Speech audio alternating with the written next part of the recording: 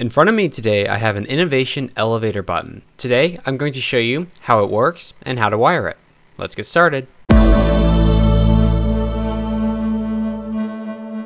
So today we're taking a look at these innovation buttons, and these are commonly found on newer or modernized elevators. And they come in a bunch of different variants.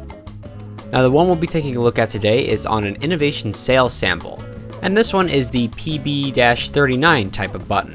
So just taking a look at the fixture from the front, you can see we have a braille, the button itself, and the little Innovation Industries plate on the top. Turning this thing around, we can take a look at what actually makes up the button. You can see on the left there, there's the circuit board, and then we have the two brackets which hold the braille and logo in place. It's actually a pretty simple button. Now taking a closer look at the circuit board, you can see the Innovation Industries logo up there. Here we have the voltage which this board can run, 6 to 15 volts, and the color on the right. Now you'll notice there are four connectors on either side of the board, and each one has a common, a normally open, a normally closed, and an LED connection.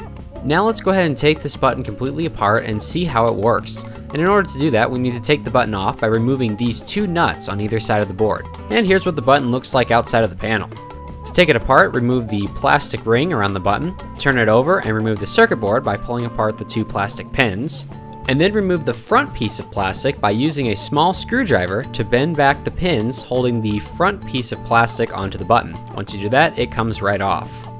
And then the button itself can be removed and all that's left are two small springs.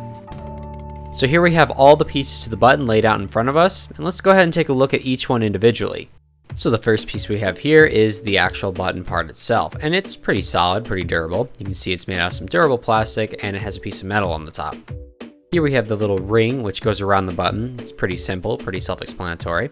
Here is one of the pieces of the frame. This is what clicks onto the base and kind of holds it together. And here we have the actual base, which is what holds all the other components. Here we have the circuit board. Now there's two small little micro switches, and that's what gives the button its clickiness. And we have the small little LEDs in the middle, which light up the button.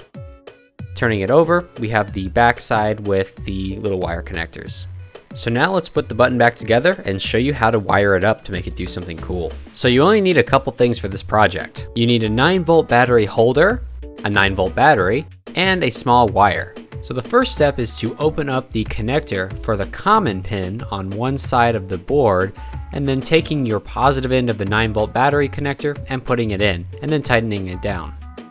Next, you want to open up the normally open and the lamp connector and take your small wire and put it in between those two pins, then tighten them both down. Finally, you want to turn your board to the other set of connections, where you'll take the negative end of your battery pack and put it into the lamp connector and tighten it down. Once you've done that, connect and secure your 9 volt battery, turn it over, and give it a test. It should light up. So that is how to wire innovation elevator buttons. Hope you guys enjoyed this video, hope you learned something from it. And as always, we'll see you guys in the next one.